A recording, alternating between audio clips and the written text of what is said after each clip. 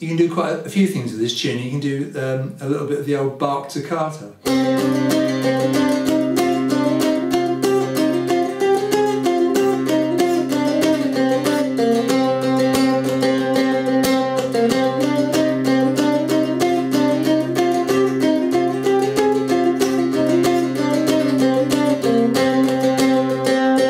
Okay, got the wrong note. Should be um, and, uh, you can get there, but who cares? It's just a bit of fun, really. Um, what else can you do? So in this tuning, you could also do Drunken Sailor. Uh, you'd be playing it in C minor.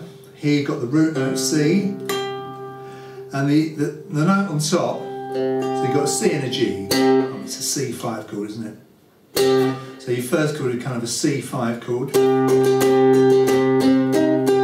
Essentially you're feeling is a C minor, so it's fine to play the C root note all the way through that as you run up. When you change to this chord, it's essentially a B flat major chord. So you've got B flat and F.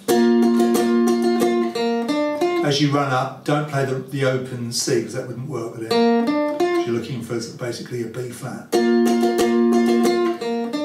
Okay, again, here's your back to the C minor. Your B flat chord again, and then, and here you're feeling like a C minor, but of course you've got octave Cs.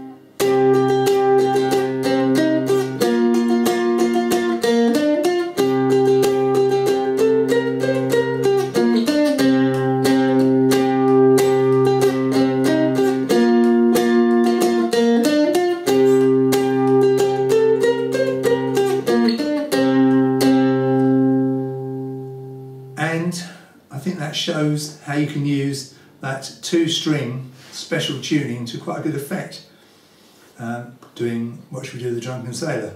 So as I come up with more ideas uh, with this kind of tuning, then I'll, uh, I'll share them with you, but uh, for the moment that's it. So I hope you enjoyed that and I'll see you in the next video.